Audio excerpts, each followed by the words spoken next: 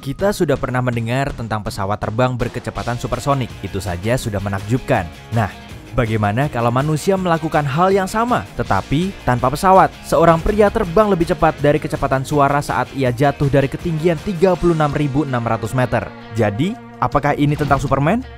Ya, mirip lah, tetapi tidak persis. Sebelum kita lanjut, beritahu di kolom komentar ya, kalau kamu pernah ingin terbang lebih cepat dari kecepatan suara. Felix Baumgartner adalah seorang penerjun payung Austria yang lumayan pemberani. Lumayan? Ia dilahirkan tahun 1969 di sebuah kota kecil bernama Salzburg di Austria. Sejak kecil, ia mencintai ketinggian dan cita-citanya adalah menjadi penerjun payung. Sebelum ia dapat meraih mimpinya, ia bekerja sebagai seorang mekanik, memperbaiki sepeda motor. Felix sering menghayalkan saat ia akan terbang di langit seperti seorang superhero ia mulai fokus mengejar mimpinya di usia 16 tahun dan memperoleh beberapa keterampilan khusus.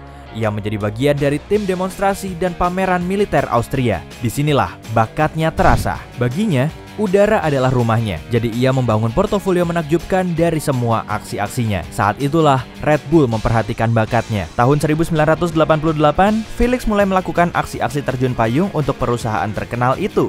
Meskipun pekerjaannya sebagai penerjun payung menyenangkan dan dipenuhi dengan adrenalin, Felix mengalami titik jenuh.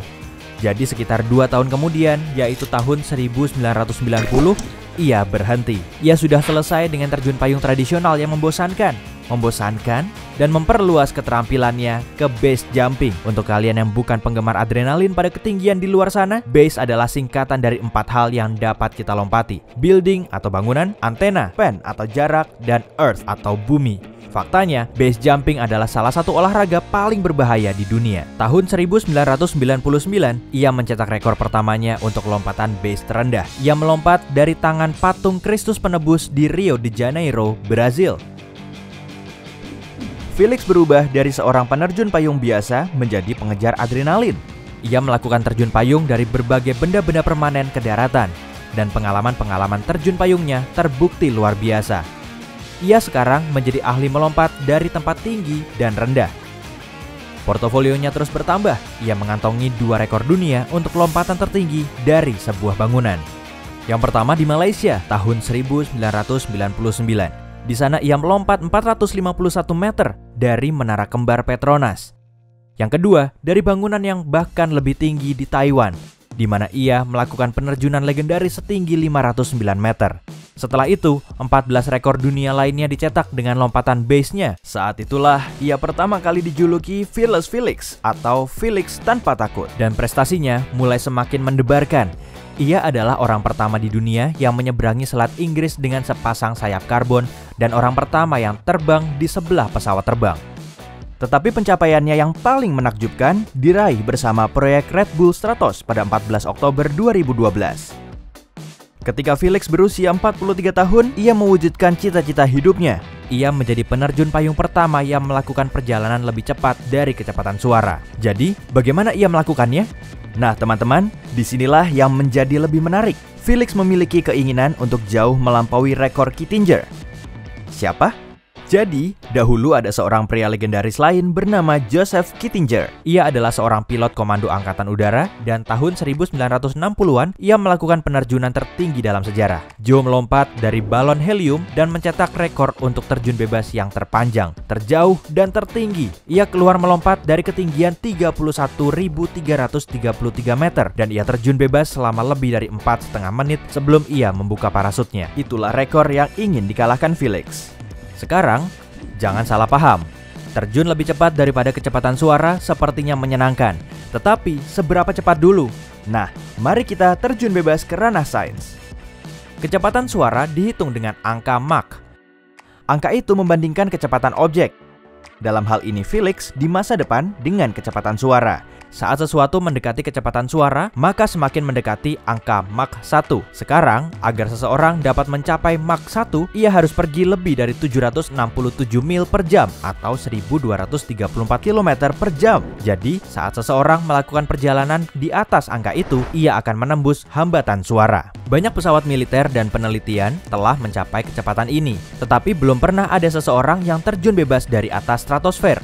Belum pernah sampai Felix menggagaskannya. Tahun 2005, diskusi serius dimulai antara Red Bull dan Felix tentang pemecahan rekor tersebut. Semua pihak mengenakan topi berpikir mereka dan mulai bekerja. Pertama, mereka mengalami beberapa kesulitan dengan anggaran, kemudian tantangan teknis. Apa yang diusulkan Fearless Felix atau Felix tanpa takut itu sangat berbahaya, bahkan bagi pria yang telah melakukan lebih dari 2.500 lompatan. Tim Baumgartner merakit sebuah kapsul canggih yang akan mengontrol iklim untuk Felix selama pendakian pendakiannya ke 36.575 meter. Untuk penerjunannya yang legendaris, Felix memakai setelan tekanan inovatif yang dibuat oleh perusahaan yang sama dengan pembuat setelan penerbangan untuk astronaut. Para peneliti di proyek Red Bull Stratos sangat kompeten dalam studi mereka, sehingga bahkan produsen spacecraft dan NASA meminta dibagikan informasi.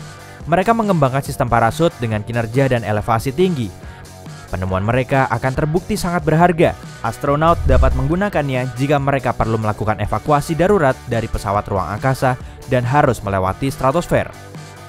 Baik setelan dan kapsulnya memiliki semua peralatan yang dibutuhkan untuk melewati misi ini. Setelannya memiliki pelindung dari panas matahari yang akan membantunya melihat dengan jelas, dan ia juga memiliki tabung oksigen. Setelannya dilengkapi dengan lapisan khusus untuk melindungi tubuhnya. Karena seluruh misi akan direkam, ia dipakaikan kamera di kedua kakinya dan helmnya. Setelannya juga dilengkapi cermin yang memungkinkannya memeriksa parasutnya. Ia memiliki altimeter, peralatan-peralatan canggih lainnya, dan yang paling penting, keberaniannya. Selama misinya, ia membutuhkan seseorang di sisinya yang bisa ia percayai untuk membimbingnya. Jadi, Felix mengundang pria yang rekornya ingin ia kalahkan untuk membimbingnya. Joseph Kittinger adalah orang yang akan terus berkomunikasi dengannya selama penerjunannya. Setelah latihannya ekstensif, hari pemecahan rekor pun tiba. Saat itu tanggal 14 Oktober 2012. Ketika menjalankan beberapa pemeriksaan terakhir, didapati bahwa pelindung dari panas matahari di helm berhenti berfungsi, yang berarti setiap kali Felix mengembuskan napas, helmnya akan berkabut dan ia akan kehilangan penglihatan. Itu membuatnya takut dan hampir membatalkan misi. Tetapi Tim yang merancang peralatan itu mengambil risiko untuk melanjutkan misi mereka setelah mereka memahami masalahnya. Baumgartner naik ke ketinggian 39.050 meter dengan balon canggih. Pintu geser kapsul terbuka dan pengalamannya yang paling mendebarkan dan menakutkan dimulai. Ia melompat, tapi ada sesuatu yang tidak beres lagi.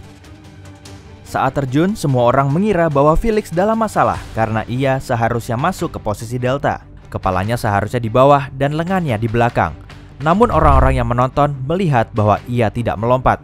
Ia hanya jatuh dan mereka sedikit khawatir. Tapi kamu tahu, orang ini telah melakukan ribuan terjun bebas sehingga ia dapat memperbaiki posisinya dengan cepat setelahnya. Selama ia jatuh, kecepatannya bertambah dan begitu pula detak jantungnya. Ia bisa melihat kurva bumi. Ia kagum sekaligus ketakutan ia jatuh dengan cepat dan dalam 35 detik ia memecahkan hambatan suara. Detak jantungnya naik hingga 170 denyut per menit. Tidak lama setelahnya ia mencapai kecepatan Mach 1,24. Itu sekitar 1528 km per jam terjun bebas. Saat ia mencapai kecepatan maksimumnya, ia melambat. Ia terjun bebas selama 4 menit 20 detik sebelum membuka parasutnya pada ketinggian 2500 meter. Begitu ia menyentuh daratan, ia berlutut dan mengangkat tangannya sebagai simbol kemenangan.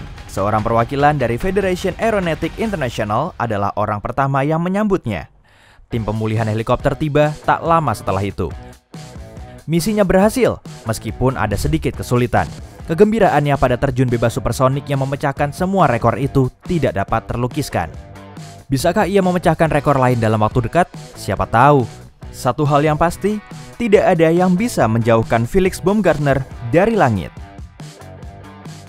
Hey, jika kamu belajar hal baru hari ini, klik tombol suka di video ini, lalu bagikan pada teman-temanmu. Dan berikut adalah beberapa video menarik lainnya yang bisa kamu tonton. Klik saja di sebelah kiri atau kanan layar, dan tetaplah di sisi terang kehidupan.